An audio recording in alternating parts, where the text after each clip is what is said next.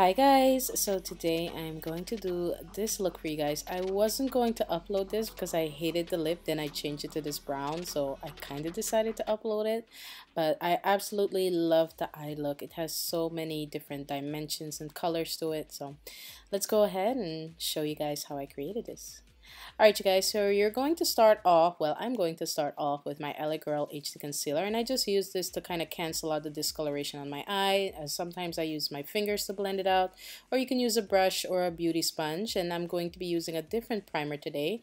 This is the lid primer from Smashbox. I just got like the whole collection from them so thank you Smashbox.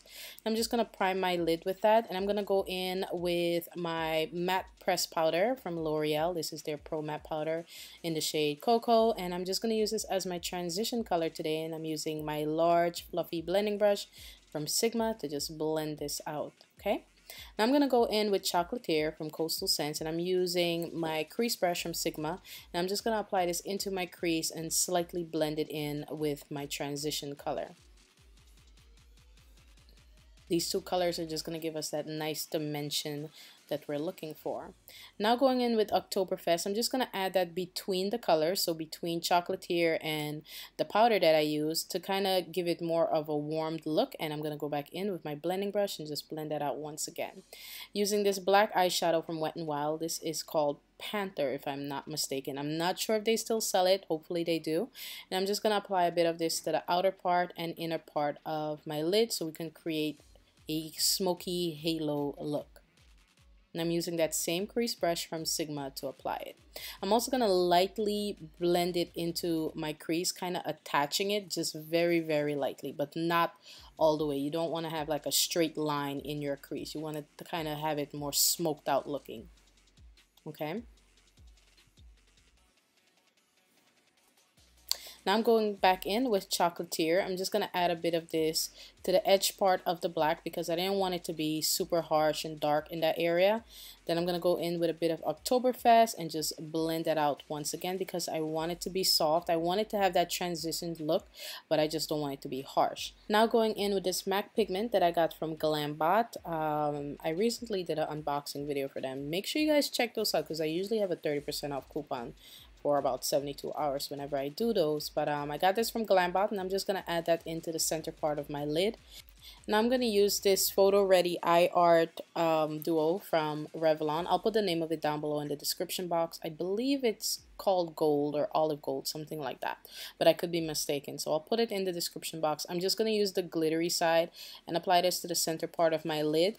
And this way you can have the glittery look without having to put on a primer or deal with loose powder and all of that. So I'll put the name of it down below. Now using this eyeliner pencil from Urban Decay. I also got this from Glambot and I'm just using the blue side. It's just beautiful eyeliner, you guys. Um, the part of the name is pencil is shaved off so I can't remember it but I'll try to find it and put it in the description box for you as well. Now I'm just going to use my NYC liquid liner and create my wing liner. I'm not going too dramatic today. Mm, to me it's a, a very modest wing not too dramatic. We definitely want the eye look to stand out more than the wing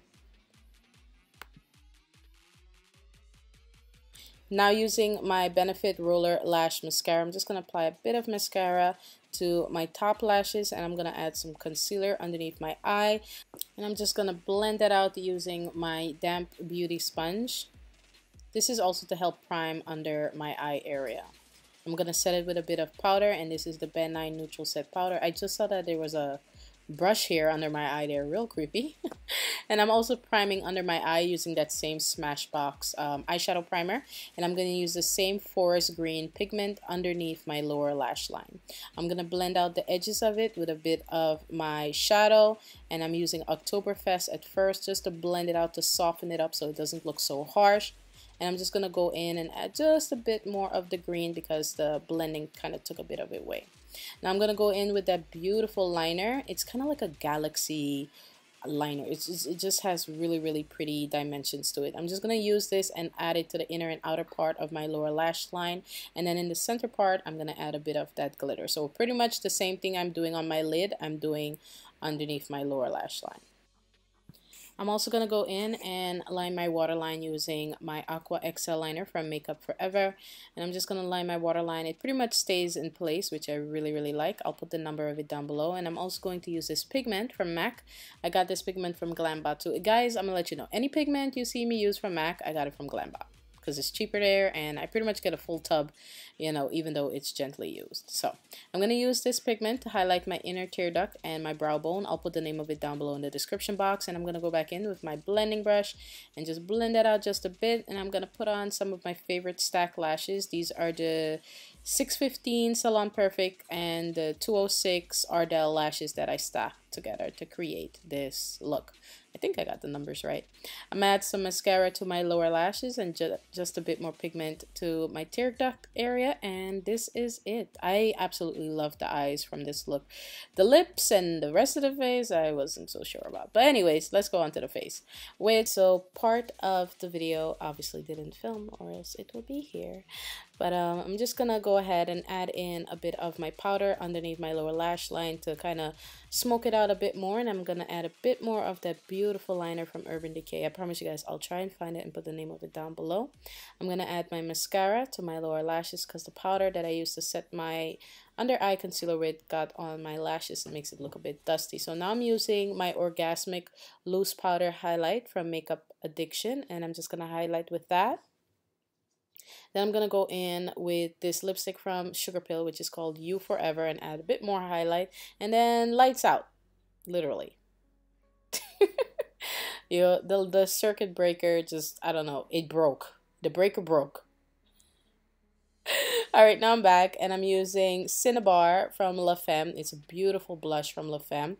And I'm going to go in and set my lips with some neutral powder. This is Ben Neutral Set Powder. It's an invisible powder.